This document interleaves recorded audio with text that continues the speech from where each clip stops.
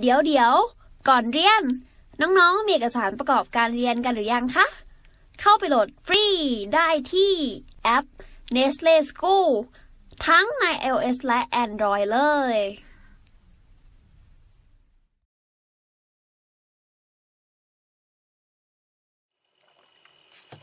ต่อไปมาดูข้อ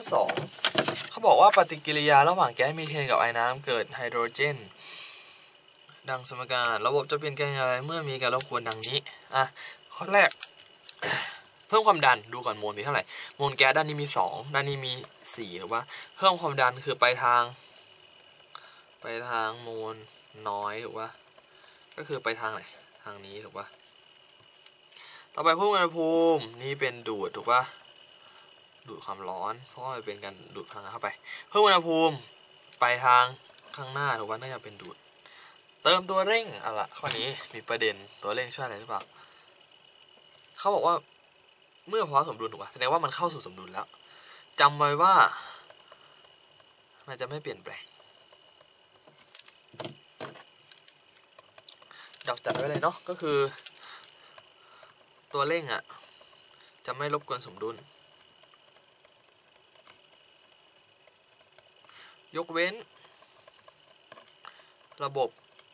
ยังไม่เข้าสู่สมดุล จะช่วยให้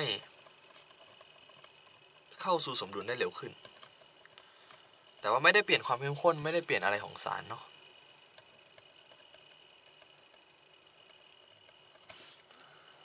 โอเคเนาะ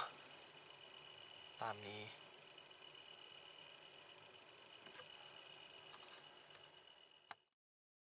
เรียนจบแล้ว อย่าลืม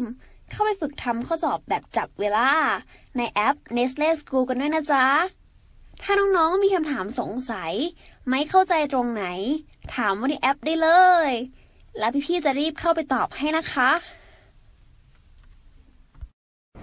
ดูความรู้ว่านานิดเราจะติดใจนะคะ มีอะไรเท่ากัน มีอะไรเหมือน อื กัน ม ฐาน ถ้าเลขฐานเหมือนกันเลข อ๋อ แล้วก็อย่าลืมไปโหลดแอป Nestle School นะคะ